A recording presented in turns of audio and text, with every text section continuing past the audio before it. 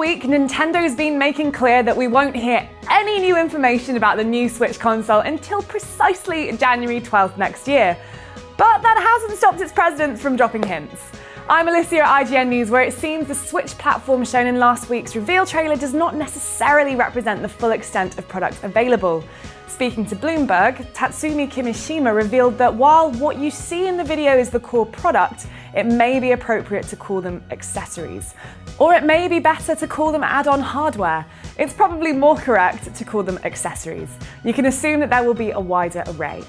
Predictably, no more information was given, but many, spurred on by Nintendo patents showing modular controllers and unannounced features, have suspected that the console's detachable Joy-Con controllers could be swapped out for other controller types.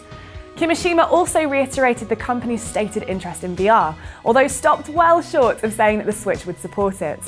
This perhaps starts to answer a couple of questions we have about Nintendo Switch, but don't worry, we have loads more, so stick around for the answers.